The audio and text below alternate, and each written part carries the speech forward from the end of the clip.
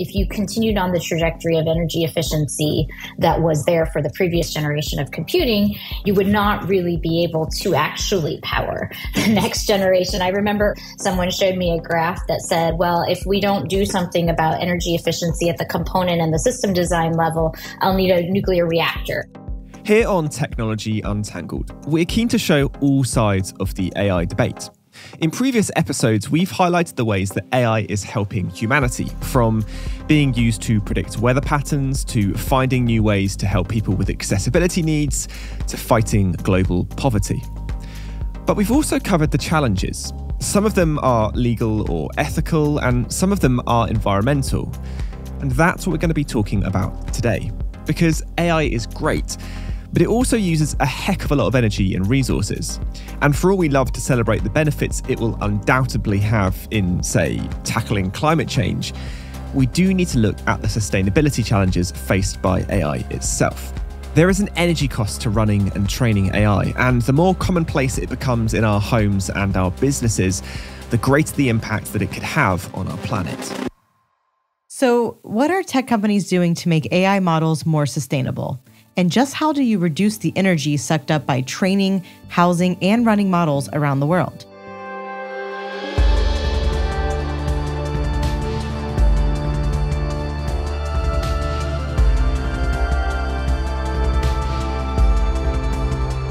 You're listening to Technology Untangled, a show which looks at the rapid evolution of technology and unravels the way it's changing our world.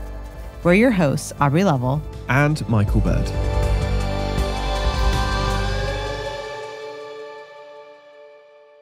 By 2030, it is predicted the global AI market will be worth $2 trillion, according to market research platform Statista. But alongside the financial benefit sits, somewhere uncomfortably, an environmental cost. At the current rate of growth, research by Alex de Vries at the VU Amsterdam School of Business and Economics has suggested that AI servers could be using more power than some small countries, such as the Netherlands, by that time. And keeping on the theme of future forecasts, Anders Nordgren, a professor of bioethics from the Linköping University in Sweden, wrote in the Journal of Information, Communication and Ethics in Society that the whole industry will be responsible for 14% of the Earth's CO2 emissions by 2040. So, what are the factors causing such an enormous surge in the amount of energy being consumed by AI? Hi, I'm Arti Garg. I am a technologist in HPE's Office of the CTO. I wear many hats within the organization, but um, one of those hats is to lead our sustainability innovation efforts as the lead sustainability architect for the team.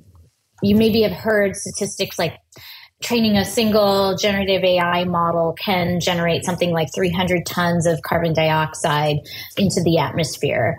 While the specific numbers actually can be pretty difficult to measure, underlying all of this is really the fact that AI is driving kind of an exponential growth in um, demand for computing to train these very large models. And while in the sort of high performance computing and advanced computing space, energy as we move to newer generations of technologies has always been an issue, has always been a concern. Just the growth in energy demands are, are growing faster. And that's becoming one of the biggest challenges. I think really the advent of a models not just getting larger, but there being sort of an inflection point in um, the computing requirements, which means the energy requirements of training these models, and you know potentially also in using the models. Some of that's not really well understood right now. How do you account for the energy that's generated to power the electricity? Needed to power the computers that allow you to use an AI model? Do you amortize it over how many times it's been used, for example? And that's really led to people thinking um, more acutely about what is the real environmental impact of using these AI models. There's no doubt, as Arti says, that the environmental factor is increasingly playing a part in how AI is being thought about. My name's Matt Armstrong Barnes. I'm the Chief Technology Officer for Artificial Intelligence at Hewlett Packard Enterprise. It's something Matt Armstrong Barnes has had an eye on for a number of years. So, aside from bigger AIs using more energy, where does he see the problem coming from? I've been the CTO for AI for six years now. Uh, obviously, my interactions with AI goes back beyond that. And from a Hewlett Packard enterprise perspective, we've had a, an AI center of excellence for more than three decades. So we've got a huge amount of experience in this space. In the last probably five years, we've seen this huge rush towards AI. The big changer of the accelerated adoption of complex AI models was the introduction of large language models. And this has really been a huge transformative technology, has an incredible amount of benefit that can be derived from it. The challenge that I see in the sustainability space, people are rushing towards it too quickly. They're not putting the right kind of planning in place. And what that means is that they're building AI in an unsustainable way. They're not thinking about the environmental impact, which means they're potentially running towards complex models too quickly. They're not thinking about longevity and how long they're going to use these models and the kind of value that they're going to drive out of them. They're not factoring in how they can change them. You know, things change over time, especially when you're starting to deal with large volumes of data. Reusability. You know, if I put a lot of time, effort, and energy into the construction of a model, I might want to reuse it and build it in such a way that it provides me with more than just one outcome. And lastly, we're not necessarily gathering a holistic set of metrics around the models that we're producing. And what this is resulting is we're not making the best and informed decisions. As Matt says, in the last five years, the adoption of AI and large language models has grown at a rate that we can barely keep up with. In fact, a report by Tracxn, which is an industry research company, discovered that there were more than 18,500 AI startups in the US in the summer of 2023. And that rush to adopt AI at such a pace has an inevitable effect on the environment. Yes. In fact, according to research by OpenAI, the energy used by AI models has doubled every 3.4 months since 2012. And at the heart of all of that energy usage is the hardware that AI sits on and runs through. My name is Shar Narasimhan, and I'm the Director of Product Marketing for NVIDIA's data center GPU portfolio. Sustainable AI means a series of business practices that help minimize the impact of all of your workflows on the environment and on the planet. It involves looking at all of the stages of your regular operations and identifying how they could be modified to reduce your carbon footprint and meet targets such as your carbon reduction goals like net zero. My team actually launches our data center GPUs and uh, all of our corresponding architectures the likes of which power popular chatbots that you may have heard of. Those same generative AI models require a lot of compute to train, which in turn translates to energy that's consumed in the data center. In data centers in particular, energy efficiency is a big component of sustainability. And one of the really amazing things about data centers has been their ability to hold energy consumption largely flat over the last decade. So, how, with all this extra demand for AI and energy being put into training it, have individual data centers managed to hold their power use steady over the years? Well, there's been a massive change in hardware use for a start, as CPUs, or known as central processing units, have been replaced with graphical processing units, or GPUs, in AI architecture. GPUs are 20 times more energy efficient than the most advanced CPU counterparts at AI and HPC workloads. They have this unique ability to perform very large matrix to matrix multiplication calculations very quickly. And they have incredible throughput that they can accomplish by the use of thousands of what we call CUDA cores in our NVIDIA GPUs. A good analogy I can give you as to why a GPU is so much more efficient than, say, a CPU is to compare it to a moving truck. If you're moving homes and you want to transport all of your furniture from one home to another, a moving truck can help you do that in, in just a single trip. Your alternative might be to hire a fleet of cars, disassemble all of your furniture, and spend days putting it and stuffing it into this fleet of cars CPUs are like the car. They're general purpose and they do a lot of things, but they don't excel at very specific workloads. GPUs are like that moving truck. They're just extremely efficient and performant at specific workloads. GPUs are just really efficient at parallel processing. These are the types of calculations that are heavily used in AI and scientific simulations when you're trying to figure out what's taking place in every single pixel in, say, a real world simulation. So, this advantage of AI extends to graphics processing workloads as well as data analytics. What Shar's talking about makes complete sense, but it does throw up a confusing question. If the processing power around AI is getting much more efficient to the extent that data center energy usage is flat, why is AI still consuming more and more energy? Here's Matt. Generative AI and specifically large language models have captured the imagination of the general public. Lots of people are now using them in a much more regular way than they had done historically.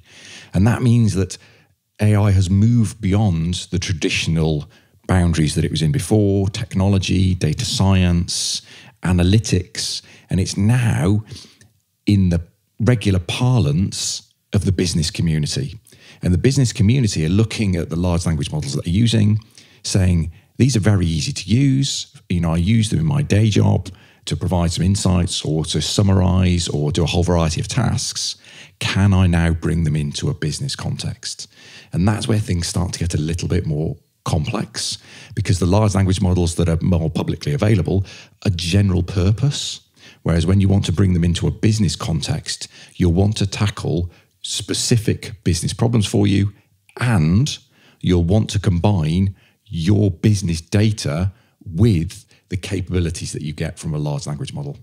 So it sounds as though the answer is there in terms of really focusing the GPU energy on what is actually needed. But how do you make that happen? And how are people like Arti and companies like HPE approaching it?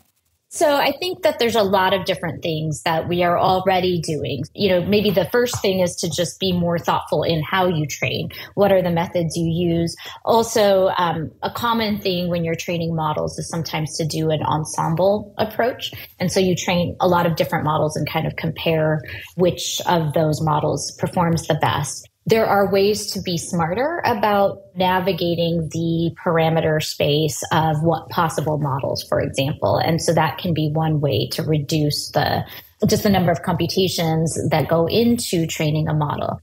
Yeah, so that's a really important point. By making an AI that uses less computation, you make an AI that uses less electricity. And it goes further. The way you interact with an AI makes a difference too. Here's Matt.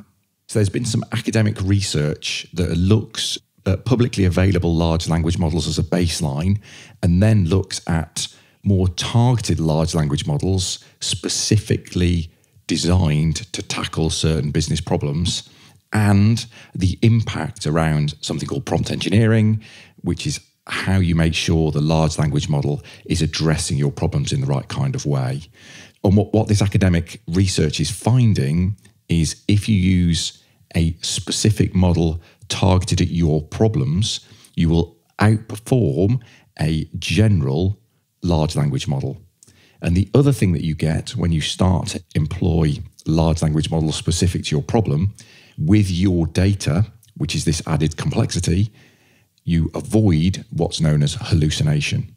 So, hallucination is if a large language model doesn't know the answer, it will make it up. So it is entirely possible that what you're getting out of your general purpose large language model is not true. Whereas when you apply specific large language models and you bolt in knowledge bases with your data, not only do you reduce the possibility of hallucination, but also you get explainability because you can link the answer that comes out of your large language model and its implementation back to your knowledge base to find out where the large language model got the answer.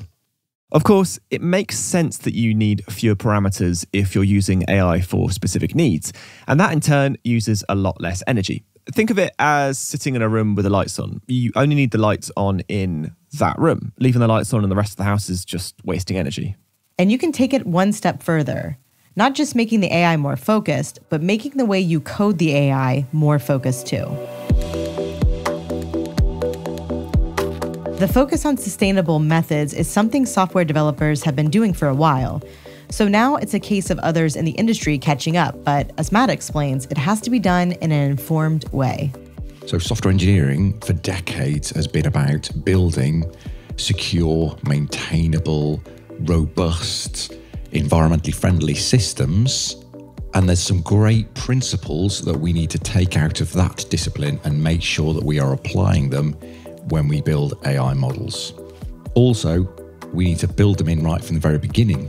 So, retrospectively applying some of this thinking doesn't necessarily have the right kind of impact. The other one is repeatability, which comes through automation. So there's something called machine learning operations, which is a way of applying repeatable processes to your AI lifecycle as you're starting to construct it. And it's the same with generative AI. We need to start embedding some of these principles right from the beginning. And it goes beyond the coding into the language itself. So Python heavily used by the data science community. And it's a great language, very good, easy to learn, great set of libraries and frameworks, and very, very well set up for data science workloads. However, Python is an interpreted language. And what that means is you can't fix inefficiencies through the compilation process. So lots of other languages are compiled. And what computer science did was built into compilers a way of going, oh, I know what you're trying to achieve, but you've done it in slightly the wrong order. So if I were to fix that order for you, it will run quicker, it will be more efficient, it'll, it'll make use of memory more effectively. Using interpreted languages doesn't involve a compiler that can fix a lot of these little inefficiencies for you. And what that means is you can use, you know, very easy to use interpreted languages, and it's actually very simple to make little errors that produce inefficiencies into your code. And if your code is running a significant number of times, that then means your code is exponentially inefficient. Where you can start to use Python very effectively is by using the libraries. So, Python has got a great collection of libraries available on uh, open source that have been written in a highly efficient manner.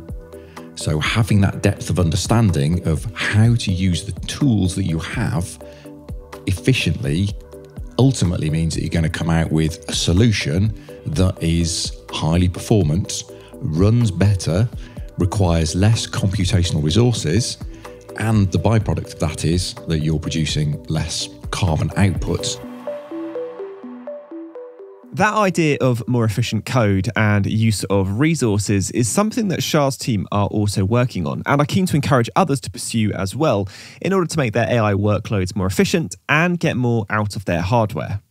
We have highly optimized libraries that lets us process data with both high throughput as well as efficiency. We have a, a library called NCCL, NCCL, and it actually allows multiple GPUs to work in concert with each other by automatically optimizing the route that data is transited between all of these GPUs so that it gets to its destination very quickly. There are optimizations that we call kernel fusion, where you can perform multiple operations together or migrate operations to more efficient and what we call reduced precisions where you're using less memory to store the same type of information. And both of those increases throughput and thus reduces energy consumption. And then if you look at another step above the libraries, within the AI models themselves, we contribute very heavily to public domain knowledge on state of the art of the AI networks themselves. So, for example, we'll optimize kernels that are within the AI models that improve efficiency in many of the most widely used models. And we make these updates freely available to the entire community as containers on NGC, which is our own software repository. Okay, so we've looked at more efficient hardware, we've looked at more efficient software, and we've looked at more efficient coding. So, what's next? Well, there's a final piece to the puzzle and it may seem niche, but it can make a huge difference to efficiency. And that's quite literally moving everything closer together. You see, moving electrical signals through wire, cable, or chips uses energy. So, the more cabling that electricity has to move through to supply data from one part of an AI system to another, the less efficient it is. And you may think that that difference is minuscule, but it very quickly adds up. Here's a recent clip of Technology Untangled from HPE Chief Technologist Mike Woodacre talking about the makeup of the Frontier Exascale supercomputer. It's got about 38,000 GPUs, 8, 9,000 CPUs, 90 miles of our high performance slingshot Ethernet interconnect in that system. One of the big bottlenecks is feeding the processing elements with data. And so you want very high bandwidth access to memory. But the challenge is they're built out of DRAM. DRAM doesn't like heat, right? It's a reliability issue. So then cooling these chips to make them reliable is very challenging. Frontier is obviously an extreme example, but the problem is one that all data centers share. You need to move data over huge distances, which creates heat and uses energy, which can make the system less reliable. So, what do you do? Well, you can move everything closer together, by which we mean a lot closer. As Shar explains, that can be done with hardware or by software optimized by AI itself. If you look sort of how do we move data between GPUs within a server? A typical server in a data center can have as, as many as 16 GPUs all working together. When we look at the really large language models, we would tend to use hundreds of GPUs, if not in some cases for the really large ones, thousands of, of, GPUs working in concert. For the massive end of the scale, when we're looking at large language models, having uh, thousands of GPUs working in concert is how those are typically solved. And uh, when you look at these very large models that go into hundreds of billions of parameters, those are actually done by entire clusters of, of GPUs themselves. Being able to send data back and forth between all of those GPUs so it's in the right place at the right time, we have an interconnect technology called NVLink and NVSwitch that allows you to move data around at about 900 gigabytes per second. We also have smart networking products that allow us to move data between servers very efficiently and, and very quickly. And some of those involve smart networking technologies that can perform actually some of these basic AI calculations within the network itself.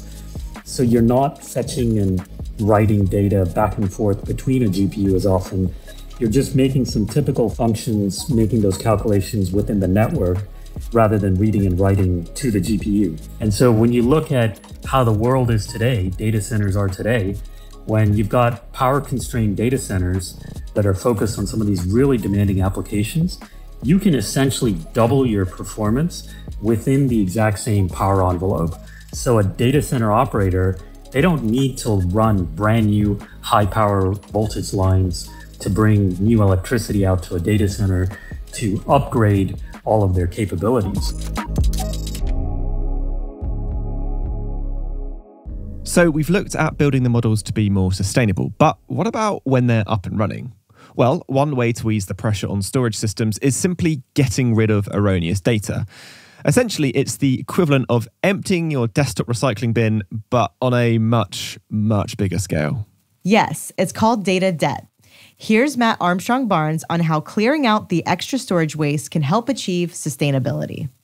When it comes to data debt, data debt accumulates quickly because we're generating so much data on a daily basis.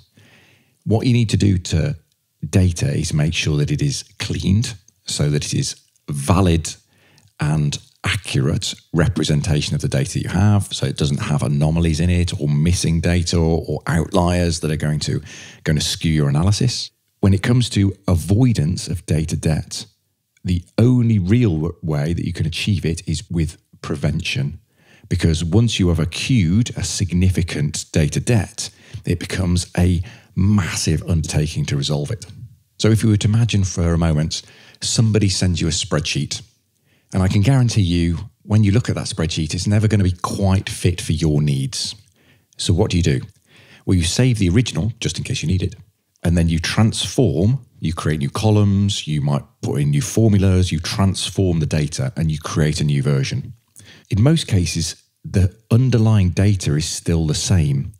And actually, most organizations will back up their data at least once. So that means you've now got four copies.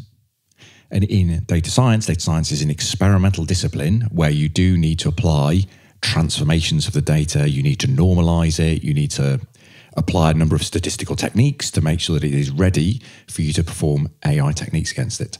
And as a result, that does mean that you run the risk of creating multiple copies of the same data so that you can go back to the original source if your data is incorrect, and then you've backed it up. You've now got this enormous explosion of data that you are storing, which means that it becomes quite expensive because it's consuming power, it needs cooling, and as a result, that's you know, there's a big producers of CO2. Yeah, Matt is absolutely right. The European Parliament published a report that shows data centers, digital networks, and other ICT consume about 7% of the world's electricity today. The same report states it also currently takes around 40% of all energy consumption used at data centers just to cool it down. So it's pretty clear on why saving energy is such an urgent issue. So, pure energy efficiency is what sustainability in AI essentially comes down to. If you're getting rid of excess data, coding well, and using efficient hardware intelligently, you're going to reduce that carbon footprint.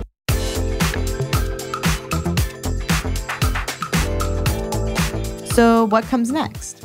Here's Arti tech companies overall, um, especially maybe in the last five to 10 years, have been very, very concerned about energy usage in their data centers overall. A lot of the le- very large cloud providers have fairly aggressive net zero goals, and they try to power their data centers as much as possible with renewable energy. One of our biggest challenges is that we don't always have a lot of visibility. There are methods that people are trying to develop to understand what, how do I measure the energy consumption uh, associated with a model. And so, you know, having just the visibility into the energy being used when you train a model is important. And that's something that um, we released earlier this year, the HPE Sustainable Insight Center. And that's something that allows us to kind of understand energy consumption associated with using computing systems. But there's another piece of it besides the visibility is like, you know, I'll kind of go back to the, we used to learn this when we were kids, that the three R's of waste management reduce, reuse, and recycle. People focus a lot on recycle, but the first thing you're supposed to do is reduce. And I think that's one of the things that we're all going to have to grapple with a little bit is um, is AI, or in particularly generative AI, the right approach to solving a given problem? Is there a different way to solve the problem that uses something that's much less computationally intensive? Going forward, we need to potentially be a little bit more intentional and parsimonious even in our use of AI in some cases. There are clearly a lot of challenges that come with this whirlwind of AI growth to make it more sustainable both in the present and for the future. But we've heard a lot in this episode that for all the many challenges, it's opened the way for exciting new tech development too. Here's Shar again.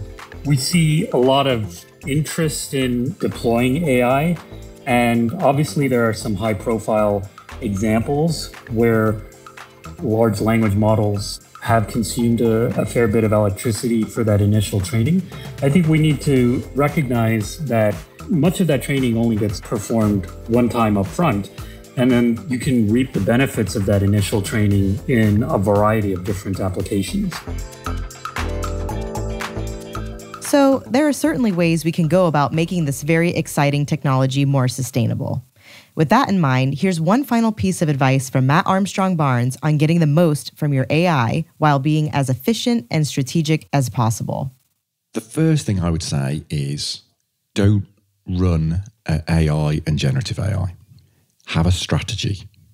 Make sure you're using this technology with purpose because you know there's some great phrase from uh, the art of war tactics without strategy is the noise before defeat and strategy without tactics is the slowest route to victory by having a strategy and an executable plan means you're going to be more effective when it comes to building out this technology. And when you have that strategy, make sure that you consider the implications of reusability, maintainability, the capability to handle change, and make sure that you are building models that you can use for the long term.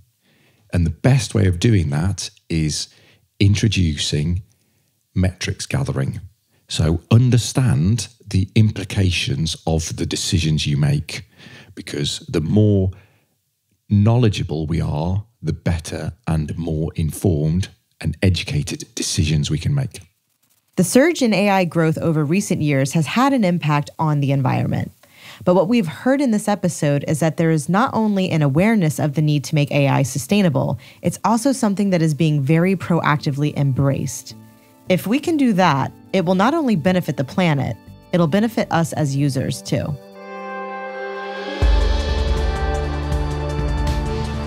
You've been listening to Technology Untangled. We've been your hosts, Aubrey Lovell and me, Michael Bird. A huge thanks to our guests, Matt Armstrong Barnes, Arti Garg, and Shar Narasimhan. You can find more information on today's episode in the show notes. Do subscribe on your podcast app of choice so you don't miss out, and to check out the last three series. This episode was produced by Sam Datta-Paulin and Al Booth, with production support from Harry Morton, Zoe Anderson, Alicia Kempson, Allison Paisley, Alyssa Mitri, Camilla Patel, Alex Podmore, and Chloe Suo. Our social editorial team is Rebecca Wissinger, Judy Ann Goldman, Katie Guarino, and our social media designers are Alejandra Garcia, Carlos Alberto Suarez, and Ambar Maldonado. Technology Untangled is a Lower Street production for Hewlett Packard Enterprise.